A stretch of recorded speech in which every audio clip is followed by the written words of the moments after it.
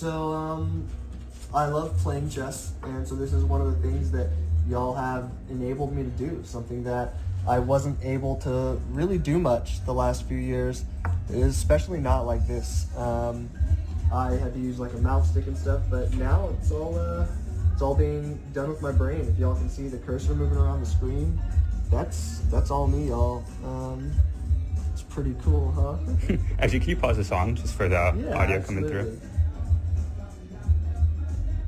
And that was also done with your brain. Yep. It's, it's all brain power up there. yeah, my name's Noland Arbaugh. I'm 29 years old. Um, about eight years ago, I was in kind of a freak diving accident and uh, dislocated my C4, C5. So I'm a complete um, quadriplegic. Uh, so I'm paralyzed from below the shoulders. The surgery was super easy. I literally was released from the hospital a day later. Um, I have no like cognitive impairments. As, oh, I think I just got checkmated. Um,